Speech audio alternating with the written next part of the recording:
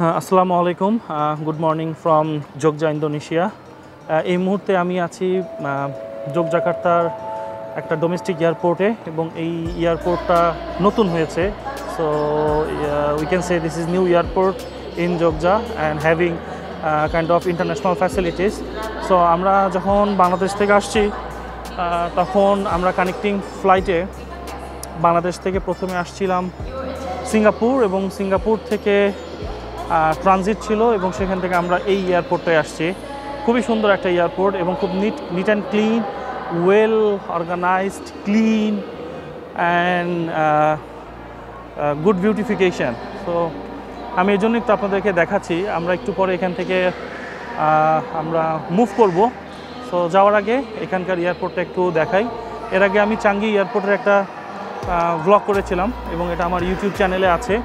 So that was actually different kind of beauty and one of the most beautiful airport in the world এটাও আমার কাছে অনেক সুন্দর লাগছে। আমি একটু পুরো ভিউটা একটু দেখাই এয়ারপোর্টের এটা আবার বলে, এটা কিন্তু ডোমেস্টিক এখানে ইন্টারন্যাশনাল কোনো ফ্লাইট আসে না। আরও একটা এয়ারপোর্ট আছে সেটা অবশ্য বলা হয় ওল্ড এয়ারপোর্ট এবং সেটা মিলিটারিরা দেখাশোনা করে। আর এই এয়ারপোর্টটা নতুন এবং অনেক বড় প্লেস নিয়ে করা। আগে যেটা ছিল সেটা হচ্ছে একটু ছোট ছিল এবং সেখানে অনেক বেশি ক্রাউড হতো। এবং এখানে এখানকার যিনি সুলতান, অর্থাৎ এই লোকাল গভর্নমেন্টের কথা যদি বলি, এখানে সুলতান কিন্তু আসলে অনেকটা বলা যায় যে প্রভাব বিস্তার করে থাকেন। সো সুলতানের হিউজ প্রপার্টি আছে ল্যান্ড আছে। এবং আমার এক কলিগ উনি ইউজিএম ইউনিভার্সিটিতে মাস্টার্স করতে আসছে with full scholarship from WHO so ওই ইউনিভার্সিটির বেশ কিছু ক্যাম্পাস ল্যান্ড সেটাও সুলতানের এবং এই এয়ারপোর্টের অনেক জায়গা আছে যেটা হচ্ছে সুলতানের দেয়া সো সুলতান হচ্ছে খুবই একজন রিচ এবং উনিও সেরকম ক্ষমতা রাখেন গভর্নমেন্ট ডিসিশন মেকিংয়ে সো আমি এই জিনিসটা এখানে এক্সপিরিয়েন্স করলাম এবং এখানকার একটা মানে ইম্পর্টেন্ট দিক হচ্ছে এই দেশের আমরা যতটা দেখলাম যোগজার খুব নিট অ্যান্ড ক্লিন খুব নিট অ্যান্ড ক্লিন এবং আমি জিজ্ঞেস করেছিলাম যে এটা কীভাবে পসিবল এত ক্লিন রাখা প্রতিটা রোড সো তারা একটা কথা আমাকে বলল যে যোগজার লোকাল কমিউনিটির একটা প্র্যাকটিস সেটা হচ্ছে যে এখানে মানুষ কমিউনিটি মানুষ প্রতি সপ্তাহে নিজেরা স্বেচ্ছায় আসলে ভলান্টারি কাজ করে কমিউনিটির জন্য, নিজের কমিউনিটির জন্য। কাইন্ড অফ তারা নিজেরাই উইকে একদিন নিজেদের কমিউনিটিকে বা নিজের এলাকাকে পরিষ্কার পরিচ্ছন্ন করে অ্যাপার্ট অফ দিস তারা প্ল্যান্টেশনের কাজ করে, অর্থাৎ বিভিন্ন সময় তারা বিভিন্ন ধরনের সোশ্যাল অ্যাক্টিভিটিসের সাথে এনগেজ হয়। এবং যিনি আমাকে বলেছেন, উনি আমাদের কাউন্টার পার্ট অর্থাৎ এএসবি পার্টের উনি প্রজেক্ট ম্যানেজার সো উনি বলেছেন যে ওনার বাবাও এই কাজের সাথে এনগেজ ছিলেন। সো এটা তার বংশ পরম্পরায়, এটা এখানে একটা কালচার বা বলতে পারি ট্রেডিশন যে এই কমিউনিটিতে কাজ করা, অর্থাৎ ছোট সময় থেকেই এই ভলান্টারি ওয়ার্কের সাথে এনগেজ হওয়া। যার জন্য সবসময় লোকাল গভর্নমেন্টকে এই ধরনের কাজের সঙ্গে এনগেজ হতে হয় না বেসিক্যালি সো যেটা হচ্ছে যে তারা নিজেরাই দায়িত্ব নিয়ে তারা তাদের কমিউনিটিকে পরিষ্কার রাখে এবং এই যে প্রত্যেকটা কমিউনিটি নিজেরা নিজেদের এলাকাকে পরিষ্কার পরিচ্ছন্ন রাখছে এবং এলাকার উন্নয়নের জন্য কী করা দরকার, নিজেরাই কিন্তু, আমি যদি বলি স্ব উদ্যোগে কাজগুলো করে, যার ফলে গভর্নমেন্টের উপরে প্রেশারটা তেমন পড়ছে না এবং এটা শেয়ার্ড হচ্ছে কমিউনিটি পিপুলের সাথে। খুব ভালো একটা প্র্যাকটিস আমার কাছে মনে হয়েছে। এবং এই প্র্যাকটিসটা বলতে বলতে আমি আপনাদেরকে একটু এয়ারপোর্টটাও কিন্তু দেখাচ্ছি। এখানে check in counter prayer room নামাজের জায়গা আছে যেহেতু মুসলিম কান্ট্রি এবং এবং এখানে সব জায়গাতে আমি দেখেছি নামাজ পড়ার ব্যবস্থা আছে। এদিকে টয়লেট সো যারা পার্সোনাল ডিসেবিলিটি তাদের জন্য কিন্তু অ্যাক্সেসেবল টয়লেট এখানে আছে। এবং এখানকার যে কালচার এই কালচারকে রিফ্লেক্ট করেছে এখানকার এই ছবিগুলো। এই ছবিগুলো এখানকার কালচারকে রিফ্লেক্ট করে। এবং যদি বলি যে আসলে এই দেশটাতে প্রচুর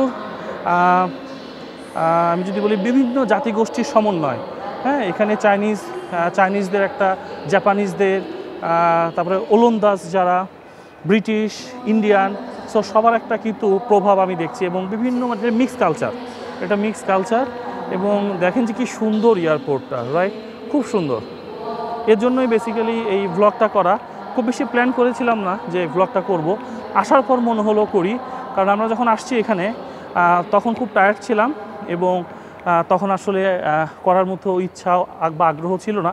বাট এখন আমার দেখি খুব ইচ্ছে করল যে আমি একটু একটা ভিডিও করি এবং এখানে একটা এমার্জেন্সি গেট আছে ইভাকুয়েশন গেট আছে।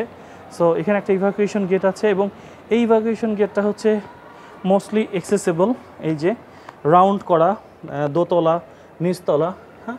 এই দেখেন এই যে, এই এবং এটার সাথে কানেক্টিং রোড ওই যে একটা বাস যাচ্ছে।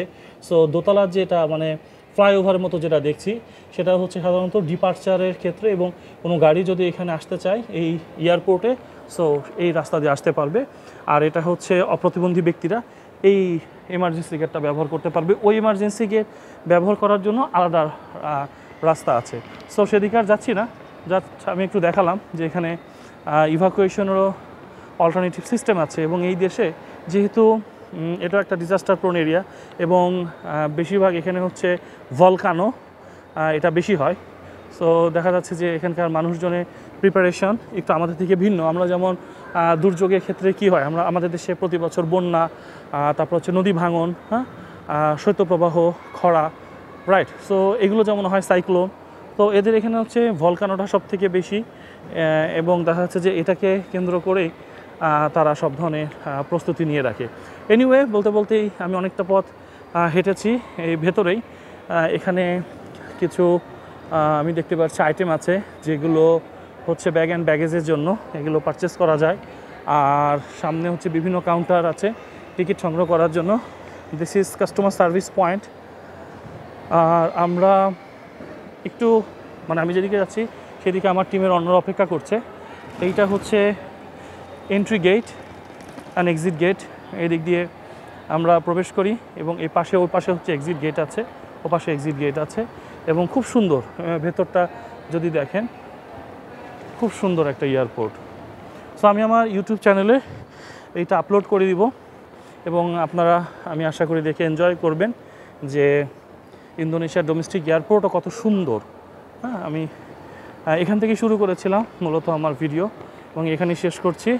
এখানে লেখা আছে এ সো আপনি দেখতে পাচ্ছেন ওই কর্নারে লেখা আছে এ এইখানে হচ্ছে বি অ্যান্ড লাস্ট পার্টে হচ্ছে সি সো আমরা এখন কিন্তু আসলে আছি দোতলায়, নিচতলায় এখন যাওয়ার সুযোগ নেই, কারণ আমরা টিকিট করে ফেলেছি, আমরা বোর্ডিং পাস নিয়েছি সো এখন বাইরে যেতে পারছি না বাট এইটুকুই ঘুরে দেখালাম যে এই ডোমেস্টিক এয়ারপোর্টটা কত সুন্দর।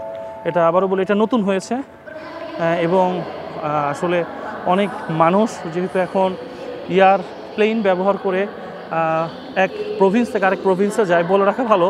ইন্দোনেশিয়া কিন্তু one of the largest country in the world এবং এখানে প্রায় সাঁত্রিশটা প্রভিন্স আছে সাঁত্রিশটা প্রভিন্স এবং প্রত্যেকটা প্রভিন্সের আন্ডারে ডিস্ট্রিক্ট আছে। So there are so many district under each province এবং ডিস্ট্রিক্টের আন্ডারে সাব ডিস্ট্রিক্ট আছে এবং সাব ডিস্ট্রিক্টের আন্ডারে আবার এখানে ভিলেজ আছে। সো এখানে আমাদের বাংলাদেশের মতোই অনেকটা। ভিলেজ, তার উপরে হচ্ছে সাব ডিস্ট্রিক্ট তার উপরে হচ্ছে ডিস্ট্রিক্ট এবং তার উপরে হচ্ছে প্রভিন্স। সো এখানে সেন্ট্রাল গভর্নমেন্টের একজন প্রেসিডেন্ট আছেন।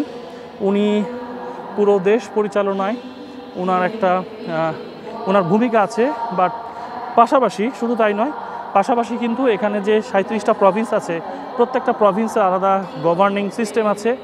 এবং যিনি প্রেসিডেন্ট প্রেসিডেন্ট প্যালেস আছে প্রায় সাতটা, অর্থাৎ পুরো ইন্দোনেশিয়াতে সাতটা জায়গায় প্রেসিডেন্ট তার থাকার জন্য গভর্নমেন্ট থেকে খুব দারুণ ব্যবস্থা করেছে। তার মধ্যে যোগ জাকার্তা একটা, বালি একটা আরও বেশ কিছু আছে, সবগুলো আসলে মনে নেই। তো আর এছাড়া শুধুমাত্র যোগ জাকার্তা আমরা এখন যেখানে আছি, এখানে শুধুমাত্র সুলতান সুলতান সিস্টেম আছে along with district governance governance system so সুলতানকে কিন্তু কেউ নিয়োগ করে না। এটা হচ্ছে যে জেনারেশন বাই জেনারেশন এই সুলতান আসলে তারা এই দায়িত্ব পালন করে এবং সুলতানের বংশ থেকেই সুলতান নির্ধারণ করেন যে পরবর্তী সুলতান কে হবেন। সো এটা ডিপেন্ড করে আসলে ক্যাপাসিটি উইলিংনেস অনেস্টি ডেডিকেশন এই বিষয়গুলোর উপরে। তো এখানেও খুব সুন্দর একটা ভিউ দেখতে পাচ্ছি। তো এই ছিল মোটামুটি ইন্দোনেশিয়া সম্পর্কে খুবই সামান্য ধারণা। আমরা জানি যে এই দেশটা পুরোটাই জুড়ে অনেক অনেক বিচ আছে হ্যাঁ? বিচ বা সমুদ্র আছে। সো এখন ওদিকে যাওয়ার সুযোগ হয় নাই। আমরা যেহেতু কাজে আসছি কাজেই বেশি ব্যস্ত, ওই সুযোগগুলো পাচ্ছি না। বাট এর মাঝে যতটুকু সময় পাচ্ছি, এই আপনাদের সাথে একটু ভিডিওগুলো শেয়ার করার জন্য এই ব্লগটা করছি। বাট একটু হারিয়ে আছে, আমরা এখনই চলে যাব। সো এখানে একটা দেখতে পাচ্ছি ভেতরে রেস্টুরেন্টও আছে। সো এখান থেকে ফুড নিয়ে খাবার ব্যবস্থা আছে, সামনেও রেস্টুরেন্ট আছে। সো এই হচ্ছে টোটাল এয়ারপোর্টের ভেতরটা। যতটুকু সম্ভব ছিল আমি কাভার করলাম। So thank you very much for watching this video and আশা করি যদি ভালো লাগে এটা আপনারা শেয়ার করবেন হ্যাঁ? শেষ করছি। ভালো থাকবেন, সুস্থ থাকবেন এবং বরাবরের মতোই পরিবারকে সময় দিবেন কোয়ালিটি টাইম দিবেন। আর দেখা হবে অন্য কোনো ভিডিওতে till then stay safe and take care good bye আসসালামু আলাইকুম